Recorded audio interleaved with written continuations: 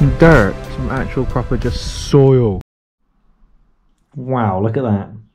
It was jeans in my last video. This video, I don't know what these trousers are. Tracky bottoms and slippers and a Dremel and a saddle. What could be happening? Well, hello and welcome to another video in the series where I ride a haggard bike shaped object, a BSO. It's the Trakatak.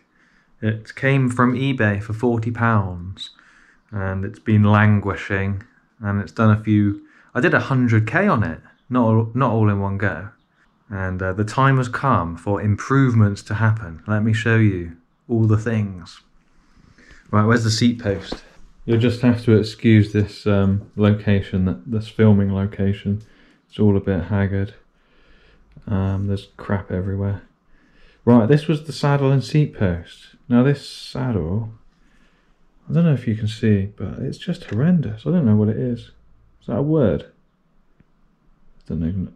I S C A S I Scale. I don't know. It's really soft when you press it, and then it goes like a couple of mil in, and then it's rock solid. Plus the um, seat tube isn't round on the inside. It's got like protrusions. And when you try and put a seat post in, it scratches the hell out of it. Now this is obviously a steel seat post which came with it um, from 1995 obviously.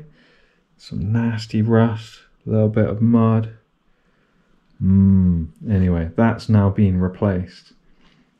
Where's the new one? Oh, look at this. It's twice as long. Does that mean I'm going to go twice as fast? Look at that. Anyway, this is now aluminum. Um, I've tried to put it in the um, seat tube, but as you can see, it's scratched it up. That's me twisting it right and left to try and get it in and out. It did go in and out, but it needs some grinding. It's not even round. Let's get the Dremel out. Um, here's a Dremel. Here's a grinding bit. Here's a seat tube thing. I've already ground a lot of it out, so this is just for video effect. Let's turn it on. This is the noise of the Dremel grinding the inside of the seat post.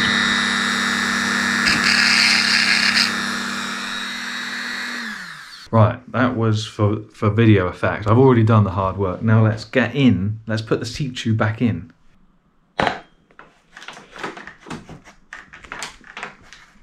Ta-da! There you go, new saddle and seat post. If you've seen videos about this bike before, you'll remember like crude oil embedded into the chain. Years of it. No one's ever degreased it. Anyway, I degreased it the other day. Let's have a look at it now. Can you see that? Is that coming out? GoPro doesn't do, I've got it on narrow view, but it doesn't really do close up focusing. But underneath the grease, I found some metal. That's actually cleanish. Okay, I've touched it and got dirty. It's cleaner. I haven't cleaned that bit, but I've cleaned, I've cleaned that jockey wheel, and uh, you can see that that that is an improvement. Does it still go round? Yeah. There is one weird thing where the um, the free free hub or whatever they call it. This thing does a little dance. Can you see that moving? That thing's moving. It's doing a little jig as the wheel goes around. I need to sort out the uh, cup and cone bearings, but they're not too bad for 25 years old. There's a little bit of play in this bottom bracket. Hang on. A little bit of play, but it's not too bad. If that's cup and cone bottom bracket, might be able to sort something out of that. I need to know what tool to use for this bottom bracket though. Can anyone tell me what tool I need to get this bottom bracket serviced? I'll go around the other side, hang on. Hopefully you can see that. That's the bottom bracket I'm playing with. These are metal. Um, these must be steel. Yes, they must be steel handlebars. and at the end there was a lip, so I couldn't get the new grip on. I've got a new brake lever on it. I've got a new grip, branded by Clark's. Couldn't get any pill grips, so I had to be Clark's alternative. But that feels so much nicer. I'm going to be ripping the trails very soon. And I got some more goodies. Let's just have a look at the remaining goodies to go on.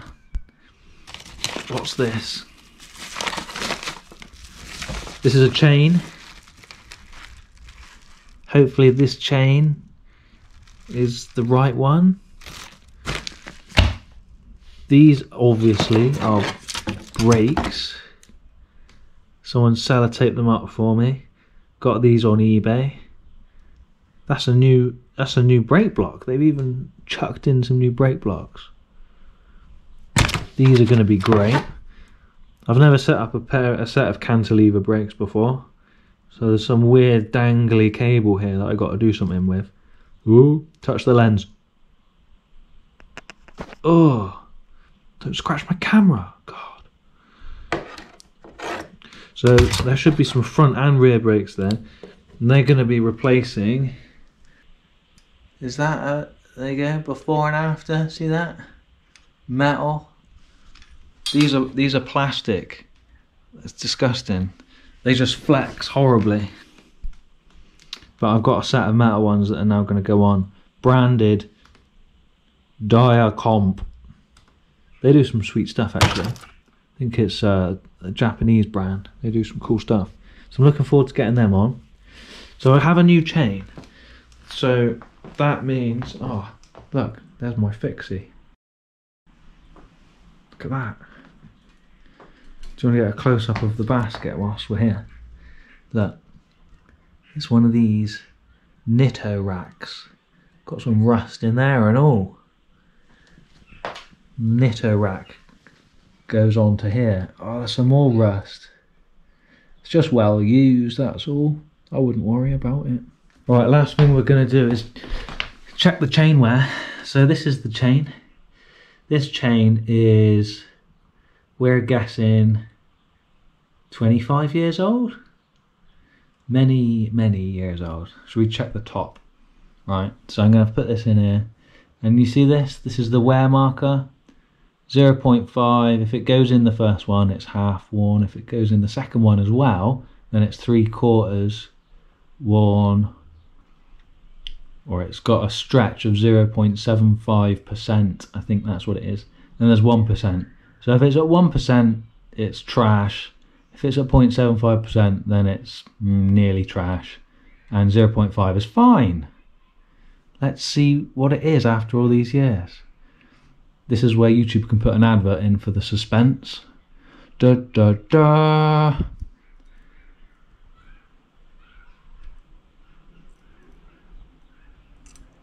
Oh my god.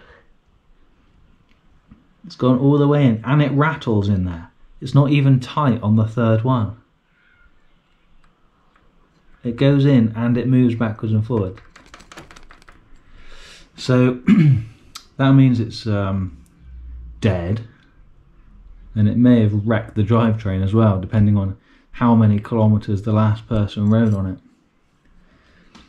I don't want, really want to be replacing everything. I want to keep my